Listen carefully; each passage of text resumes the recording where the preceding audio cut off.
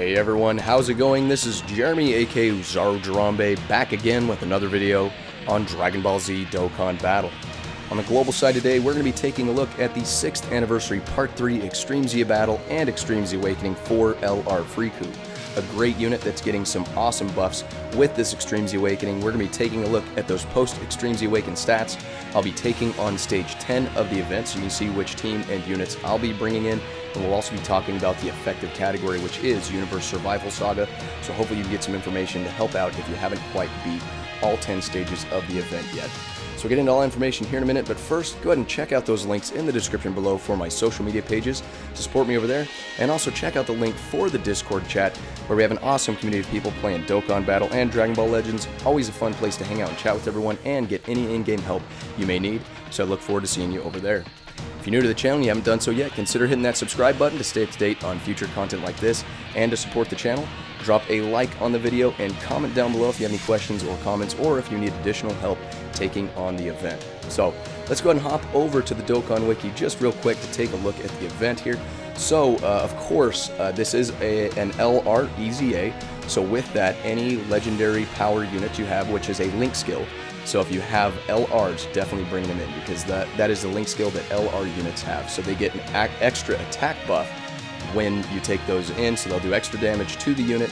And then also Universe Survival Saga category units take less damage, so any LRs from Universe Survival Saga will do extra damage and take less damage, and therefore are going to be really helpful because these LR EZAs can really do some damage when you get to the higher stages. So, um, of course, stages 1 through 10 is where you are going to get all of your EZA medals and your Kais.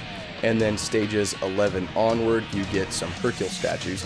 But uh, you still get, for beating all 10 uh, stages, you still get 30 Dragon Stones, you get 5 Kais and 45 Awakening medals, as well as some Hidden Potential Orbs. And then there's also a mission reward for 3 extra Dragon Stones to just clear Stage 7. So basically you get that along the way anyway. So you get 33 Dragon Stones altogether, so not too bad there. Um, but let's go ahead and actually look at the Universe Survival Saga category units, and you can see all of the LRs. There's actually a good chunk of LRs that you can bring in if you have any of them. Uh, of course, if you have LR Int uh, Super Saiyan Blue Evolution Vegeta or the new LR Int Team Universe 7, those guys also have category, uh, or should I say type advantage as well as category advantage and their LRs, so definitely bring them in if you have them. Um, but uh, there's some other units, of course, you can bring in as well. If you don't have a team that you can do that is full LRs, whether you don't have all LRs or if your team cost is too low, two of the TURs that I'd recommend bringing in if you have them, the Tech Caulifla, which she is guaranteed to dodge if you have a Universe Survival Saga category enemy, which LR Frieku is, so she definitely mitigates some of that damage and is not a liability as far as putting an extra unit on there if you don't have an LR. And then also the Int UI Goku, if you do have him and you have him Extreme Z Awakened especially, you can bring him in in the slot if you don't have all LRs as well. He'll do a really good job uh, doing some attack and defense stacking. He'll do a little bit of dodge and deal some good damage because he is int type. So, of course, not as much as an LR, but still good in the case of, you know, whether you need a different TUR on there that Goku's good to use. But anyway, let's go ahead and take a look at the Goku and Frieza stats, the LR Frieku here. So we've got uh, leader skill. You can you can read the uh, prior to Extreme Z Awakened stats here. You can pause the screen if you want and take a look at that. But the leader skill remains the same for representative of Universe 7 because 177% is still the highest percentage for a leader skill in the game. So that is, you know, makes sense that they kept that. But the tech type Ki plus 3 HP attack and defense goes up to 120% instead of 90%, so not too bad there. Super attack raises defense for one turn and lowers enemy attack the Ultra Super Attack raises defense and lowers attack and defense. The passive skill, attack and defense plus 77% when attacking, an additional attack and 77 defense plus 77% when performing an Ultra Super Attack, which is, you know, the same as before, but the buff is they get an additional attack plus 77% when the target enemy is an attack down, defense down, stunned, or have their super attack sealed. So, that could be, if you get all of those passive skill buffs to pop off, you could get up to a 231% attack buff, which is absolutely amazing. A good chunk of damage could be dealt there, so really cool. And then also you get Ki plus 1 at start of turn four, uh, up to seven each turn, so help you get those ultra super attacks off if uh, you know if need be.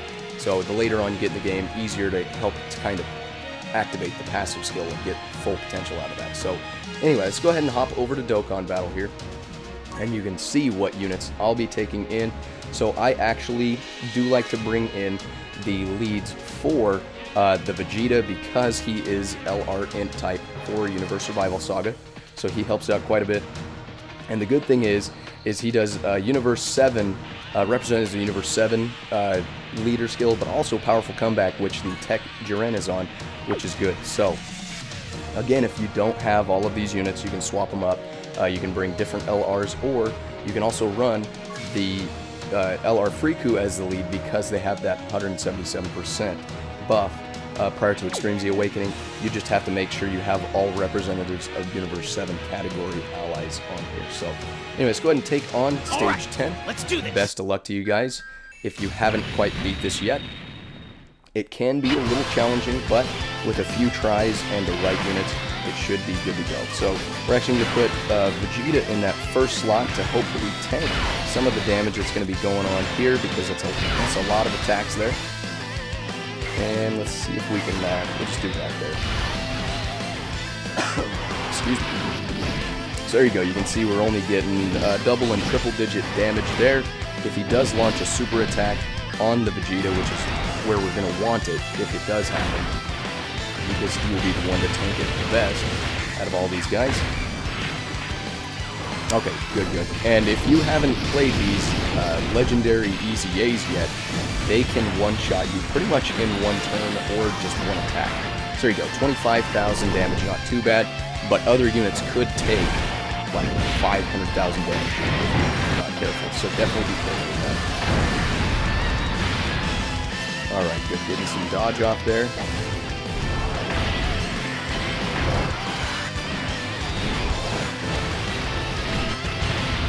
Alright, so, go ahead and uh, see if we can get see if we can get an Ultra Super attack off. No, it doesn't look like it's going to happen. So, um, let's go ahead and save those orbs for the blue boys there. And not play an Ultra Super attack there either, but we should be still getting a good amount of damage off this turn. And as you get later on in the event, uh, some of the units, of course, will be getting their active skills and everything but help out with some damage there as well. So. But pretty much with these events, as you can see, it's just going to be kind of a crawl to the finish line, if you will, just because the unit has such a high uh, amount of health and just they don't take that much damage, even from units that usually deal a giant chunk of damage. So, see what we got here. Get an additional attack. Very nice. So the only thing, I've got the uh, UI Goku on this. We definitely want to make sure that he's dodging if possible, because if he does not dodge, he's going to take a giant chunk of damage just because he's type disadvantage. And you know what? We'll go ahead and we'll just keep him right there in the middle, uh, just in case. And we'll also give the Strength UI Goku all of those orbs to get him a maxed out super attack there. Very nice. And we're getting the super attack on the Vegeta again, which is where we want it. So you gotta make sure you're positioning your units in those spots where they're gonna be uh, most useful. And here we go, we're finally getting the Ultra Super attack off with the Vegeta, so hopefully get some good damage here. Maybe we can get a crit. No crit, but still, he's getting the additional off, which is nice.